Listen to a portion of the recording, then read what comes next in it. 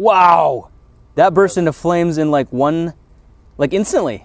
Hey, what's up guys? Welcome back to the workshop. I'm here today with Nate and we got a pretty cool project for you. Today we're building a mini solar scorcher. Now to this day, I still get comments and feedback from people that one of their favorite projects has always been the Mega Solar Scorcher, where I took the lens off of a giant flat screen TV and used sunlight to boil water and melt metal. I also still get people asking me where to get those kind of TVs and which kind of TVs work and which ones don't. I got a TV screen and I disassembled it the same way Grant did in his, but when I tried focusing the sunlight through it, it wouldn't focus into a pinpoint, so I was never really able to get that high heat that Grant did. And that's because not all TV Fresnel lenses are created equal. So if you go out and get a TV, it might work, it might not. So for this project, we wanted to take the concept and we wanted to scale it down so you can make a desktop solar scorcher that's guaranteed to work every time. Check this out. So for this project, you're gonna gonna need paint sticks, a Fresnel lens that you can get at the dollar store, a piece of cardboard, and a few different types of hardware for assembling everything. These paint sticks you can pick up at the local Lowe's or Home Depot. They're 99 cents for a pack of 10. The Fresnel lens comes from the dollar store for, a surprise, a dollar. And then each of these little hardware packets you pick up from the hardware aisle and hardware store as well. They're about a dollar each. You're gonna end up spending about $6 on hardware and that's gonna get you all sorts of machine screws, the half inch, three quarter inch, and one and a quarter inch variety. You're also gonna get number eight flat washers, some wing nuts, and one and five eighth inch eye bolts. All of the hardware we're using is number 832. 8 has to do with the size of the hardware and 32 is the amount of threads per inch. It's also worth noting that with the 3 quarter and the 1 and a quarter machine bolts, you only need two of each, so if you want to go to a hardware store that sells them individually, you might be able to save yourself a dollar or two. Aside from that, all we're going to need is a little bit of wood glue, some cardboard, and uh, a drill, a knife, and a saw to put it all together. So we got all of our materials gathered up, we're ready to start building. We're going to use the paint sticks and the Fresnel lens and begin by building a frame for the lens itself.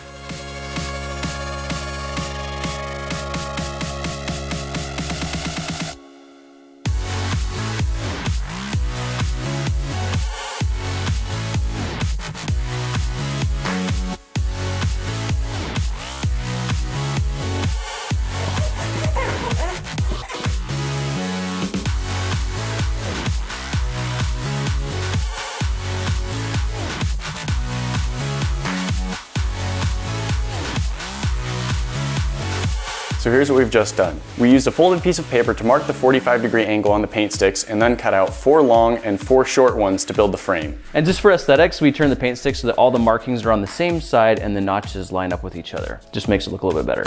And after we cut out the pieces of the frame, you should end up with eight of these little triangle scraps, which you wanna hang on to because they're gonna be integral to the integrity of our frame. Now to finish the frame off, we're gonna put a little bit of glue on the corners on both sides of the frame. We're then gonna glue the two together with the Fresnel lens in between and then reinforce it with the screws.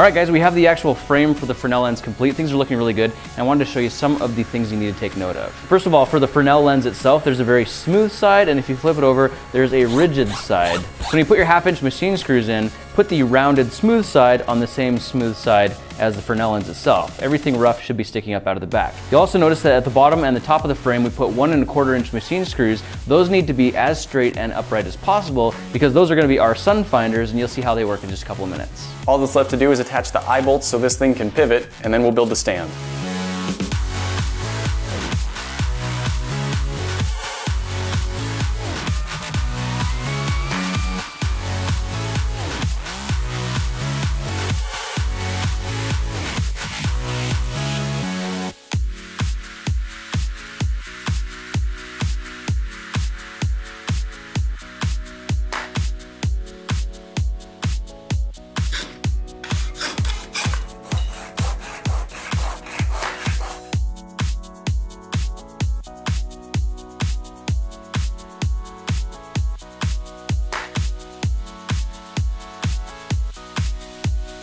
So here we have it guys, the stand is assembled and attached. At this point, our mini solar scorcher is just about complete. The other thing that's gonna be really helpful with your solar scorchers, if you have some kind of a base or a platform that you can put things on. In this case, we just went down to the dollar store and we picked up this piece of Ninja Turtle cardboard. We cut it to shape so that it fits right over the lens and cut some holes in the top so that it actually fits over top of the bolts in the back as well. Now, if you wanna get fancy, you can just take some aluminum foil, some spray glue, glue it all together, and having that metal foil on there will actually make it a little bit safer as well.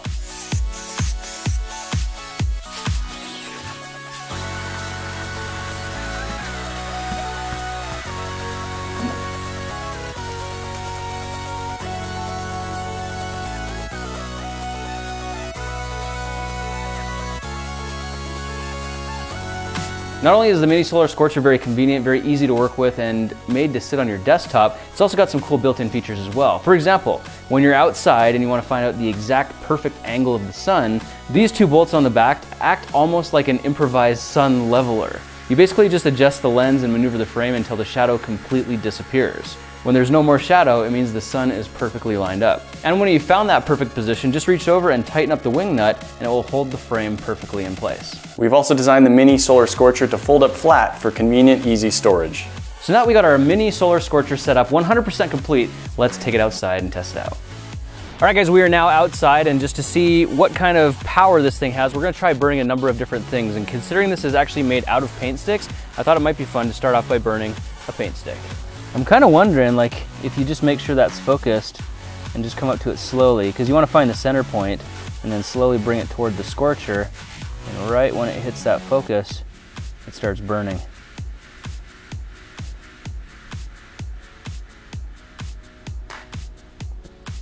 And there it bursts into flame. But yeah, there's how to start your survival fires, man, with a little desktop toy. Look at this down here. I mean, you can see that beam of light, but it's definitely not focused. If we start bringing the wood toward the focal point, boom. Wow! That burst into flames in like one, like instantly. Yeah. That's what the Mega Solar Scorcher does, the same thing. Let's see if we can do that again. Slowly bring it to a point, right about there, and it bursts into flame. That is absolutely insane. So make no mistake about it, size in this case doesn't necessarily matter because the Solar Scorcher is powerful. That's crazy. So this is pretty cool, guys. We got paint sticks to light on fire. We got 2x4s to light on fire. I was a little surprised that the paint sticks took longer to catch than the 2x4, but I think it's because they were a lighter color, so they were reflecting more of the heat. Now that we know this thing is working, let's try lighting off other fun things like smoke powder, firecrackers, and a book of matches.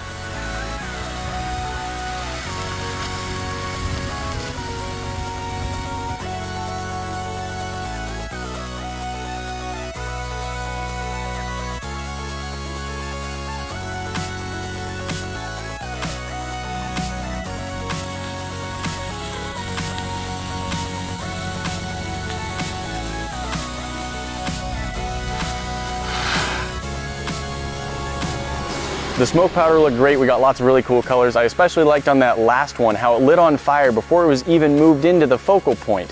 It was still hot enough to light the smoke even though there was plenty of heat left to add. That was really cool. And the book of matches. As soon as the focal point hit the match heads, they all ignited and there was a little bit of a fireball flying off the sides of it. It looked awesome. That was pretty cool. All right, so for one final experiment, I'm thinking, why don't we just take it to the next level and try lighting off firecrackers for the win?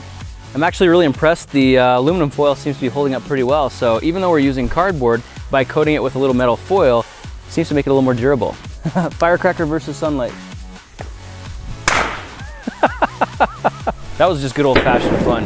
The thing I noticed there is we actually had to lift the base up so the fuse of the firework actually made it into the focal point of the sun. It looks like there was about a one to two inch disparity before there's enough sunlight to actually light the fuse. So this time I'm gonna set a rock on top of it first and see if we can just slide it straight into the beam. Dang. So there you have it guys, mini solar scorcher for the win. It takes down matches, it takes down wood, it even lights fireworks. How much cooler does it get? And the best part is you can get all the materials from your local hardware store for under $10. So rather than getting one of those old TVs and dismantling it, trying to use the giant Fresnel lens and being frustrated when it doesn't work, you can have all of the same fun with none of the aggravation. Thanks for joining us for this product, guys. We will be looking for you in the next one. Talk to you then. Oh, that even went into my workbench. Careful, you really will ignite the fire within. All right, that's enough of that.